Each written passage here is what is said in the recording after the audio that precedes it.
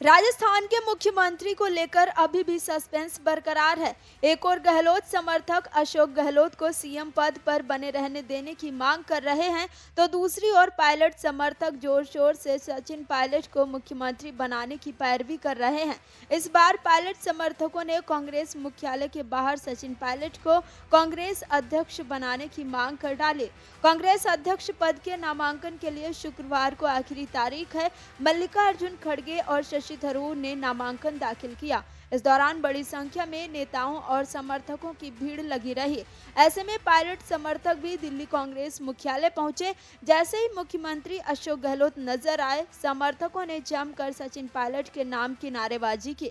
कांग्रेस मुख्यालय के बाहर जमा समर्थकों ने कहा कि राहुल गांधी भी युवा हैं, भारत का भविष्य युवाओं के हाथ में है।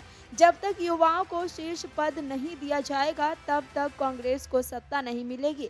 पायलट को जमीनी स्तर की समस्याओं और पार्टी कार्यकर्ताओं के सामने आने वाली समस्याओं के बारे में पता है।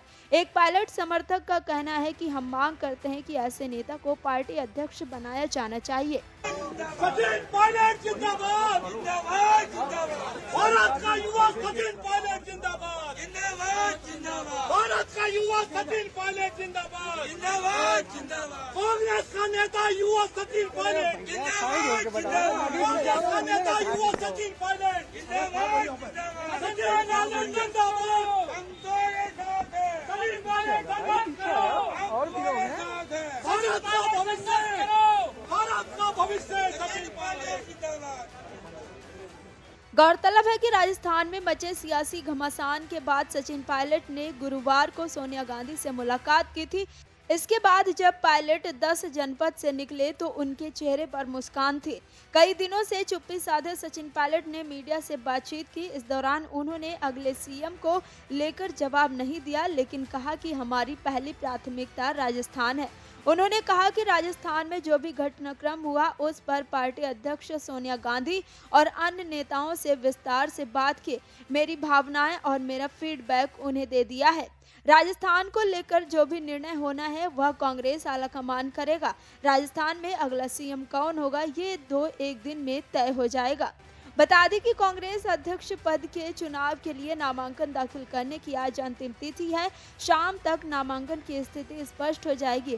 हालाँकि कौन कौन मुकाबले में अंत तक रहेगा, इसका फैसला नाम वापसी की अंतिम तिथि 8 अक्टूबर को होगा।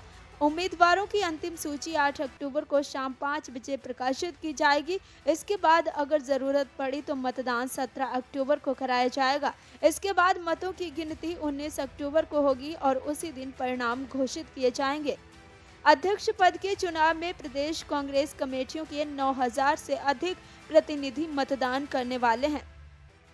Video desk Amar Ujala dot com.